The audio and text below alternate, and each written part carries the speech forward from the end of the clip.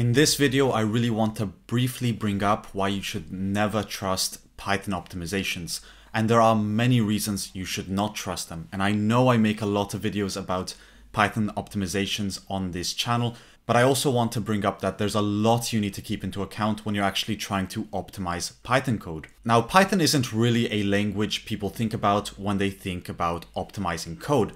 It's not the fastest language in the world, and in fact, it's probably one of the slowest. It gets the job done with minimal effort. But that doesn't mean you shouldn't write in Python and that the code can't be clean and it can't be optimized because there are some optimizations that are indispensable to Python. And I'm not talking about micro optimizations because those can easily become a huge waste of time. But sometimes you can rewrite a block of code and that can save you seconds of time per execution, and that's a huge win. So those are the kinds of optimizations we are looking for. But the first thing I really want to mention is that optimizations can become biased and they are subject to change over time with computers and Python versions. Things can easily change throughout time. So an optimization that worked before might not work in the future. Because when you're optimizing in Python, there are several factors to consider. One of them might be your computer resources, what's happening at a certain time,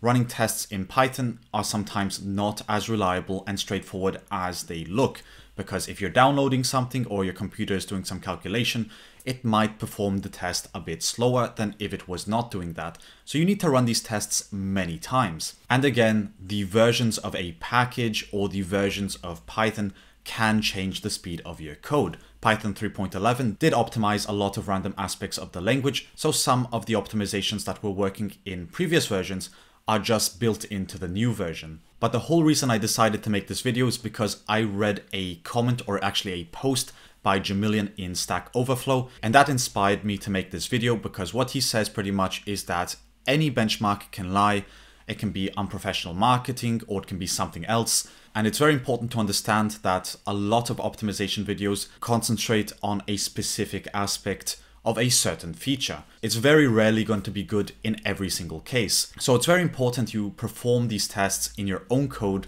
and don't blindly follow whatever they are promoting. But continuing with this post by Jamilian, he really points out a lot that can be wrong with tests or with optimizations. So what you should get from this is that you should always test the optimization for yourself in your own code base because even if I show you in my video or someone else says, okay, this is extremely fast and optimized, there's a big chance that if that was maybe a year ago, that it might not be fast in your code base or it might have been completely biased. It's very easy to produce biased statistics, so it's always important that you test it in your own code and see if that actually makes sense for your code base. And I've been subject to making optimizations that have been broken in future releases of Python, I believe one of them has to do with using dot notation. So to sum up this video, never blindly trust Python optimizations. Because again, if it's a year old or maybe even a week old and something changes in a Python version or in a package version or computers advance in some sort of way, the optimization might not be as big as it seemed